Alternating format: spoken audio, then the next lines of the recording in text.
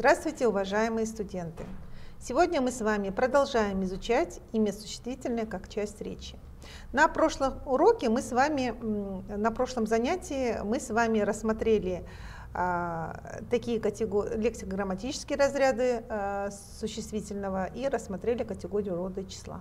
Сегодня мы с вами продолжим рассматривать особенности категории числа имени существительного, а также рассмотрим категорию падежа имени существительного, а также типы склонений. Итак, э, в, э, для существительного характерно, для существительных русского языка характерен как э, деривационный, так и реляционный характер, характер категории числа.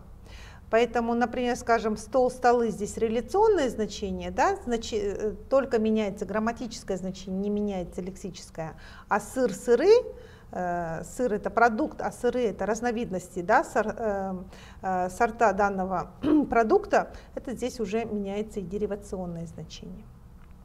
Так вот, отношения между деривационными коррелятами могут быть следующие. Действие и его результат – например, стрижка, стрижки, посев, посевы, вещество и вид вещества, нефть, нефти, газ, газы, вещество и предмет из него, фосфат, фосфаты, алмаз, алмазы, вещество и пространство, занимаемое этим веществом, песок, пески, камыш, камыши, качество и предмет, обладающий этим качеством, талант, таланты, величина, величины, жизнь, жизни.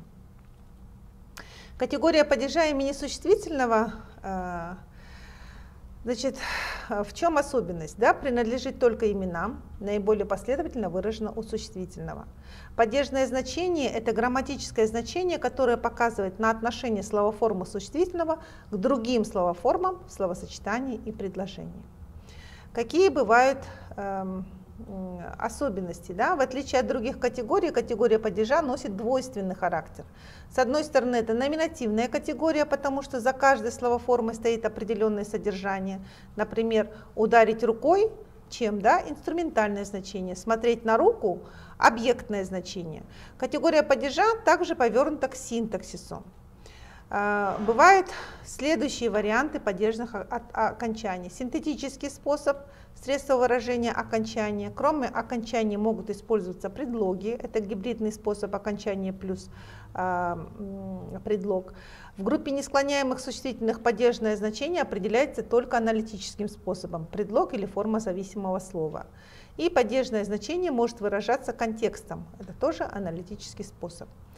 Кроме того, порядок слов тоже играет роль в выражении падежного значения. Например, мать любит дочь, здесь мать именительный падеж, любит кого, дочь винительный падеж.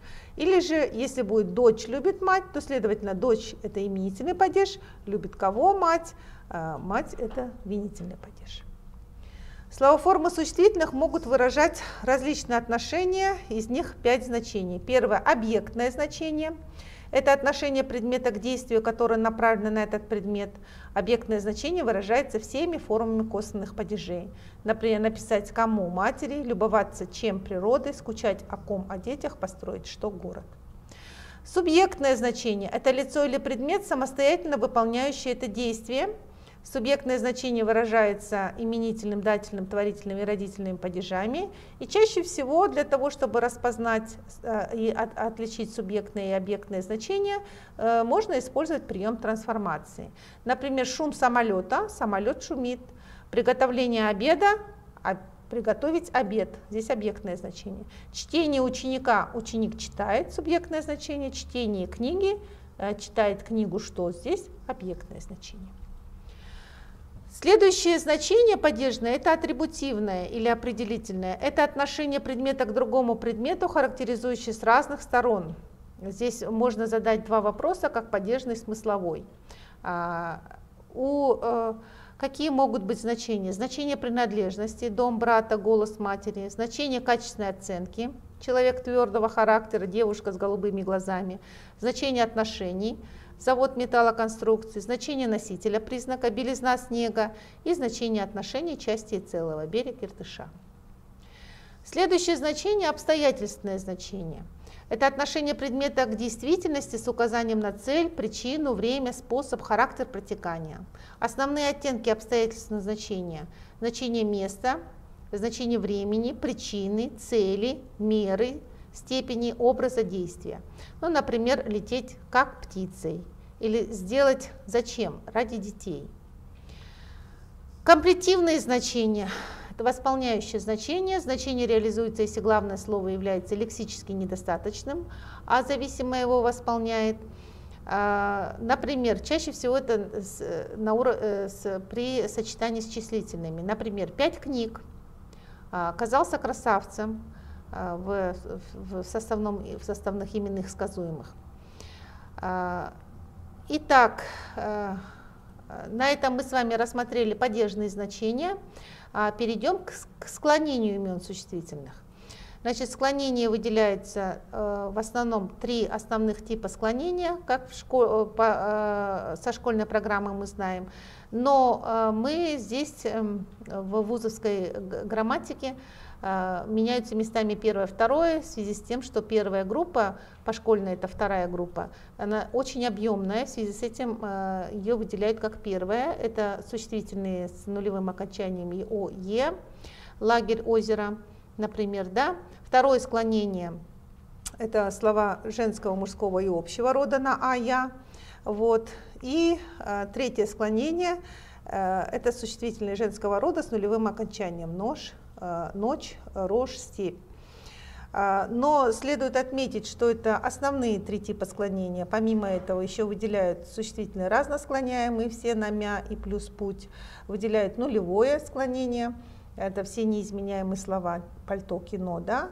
Еще выделяют э, отдельно существительные плюрали тантум, существительные только во множественном числе, ножницы, например, да, э, духи. Э, помимо этого еще есть э, существительные, которые субстантивированные существительные, а, которые склоняются либо по аддиктивному типу склонения, то есть как прилагательное, либо по смешанному, имеют в своей парадигме окончания как прилагательных, так и существительных. Например, эм, например, скажем, ничья. Они сыграли в ничью, да?